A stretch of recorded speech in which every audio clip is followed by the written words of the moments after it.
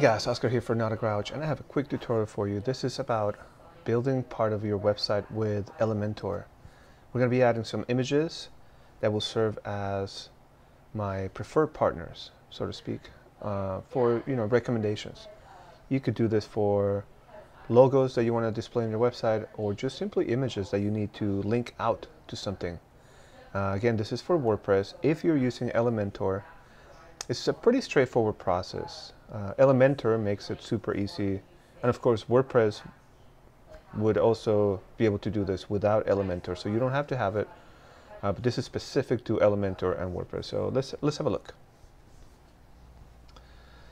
Here we have a, uh, a page. I'm actually rebuilding my agency page. So what I want to do is display some of the logos of companies I do business with that I recommend for people like you.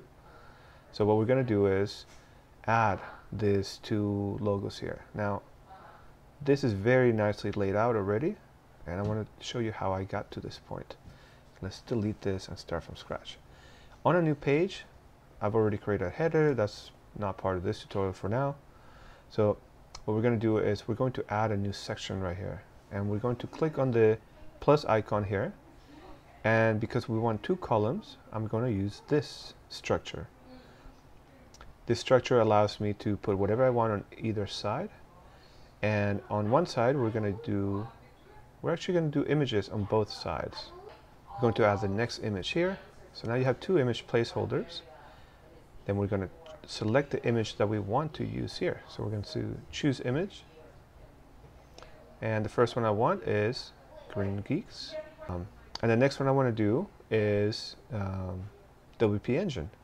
Now WP Engine is another company, so I need to go and find that logo. In order to do that, I have the logo downloaded on my computer already. It's right here. So I'm going to click on choose image right here. Select this first, then click on choose image. And I'm, I don't have it here. So I, I'm going to upload files. And I can either go and select the files, browse to the location where my files are, or I can simply go here and click on the, the logo that I want and upload it.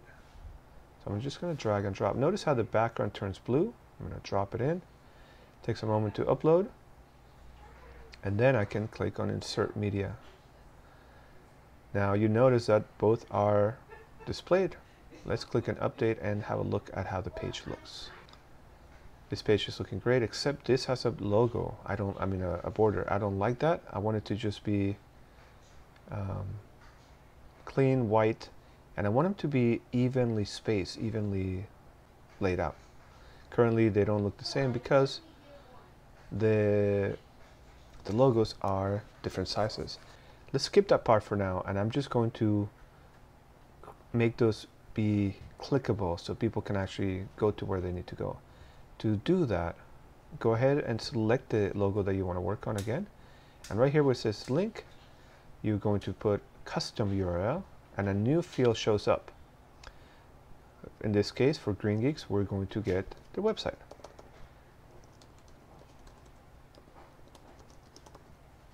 Okay, so we're going to copy that and we're going to put it here. And I also want to establish some of the parameters for those links. For example, I wanted to open on a new window and update that. For WP Engine it's the same thing. We're just going to click here, select custom URL, type in the link that you want, and select the parameters say no follow and update. You'll notice if we refresh the page, now both logos are there and we click on them and they take us there. Now the reason it opens up into a new tab, as you saw here, is because we use that option to open in a new window. So we click on the logo and it opens a new image, a new page. And that's it. That's the tutorial for today. I'm going to go and clean up those images so they line up really nice. You can go check out the final product on the website. And uh, that's it. If you have any questions about this tutorial or any other questions about WordPress, Elementor, your website management, any website design questions you have, feel free to send them my way. Links are always in the description. See you guys next time. Bye.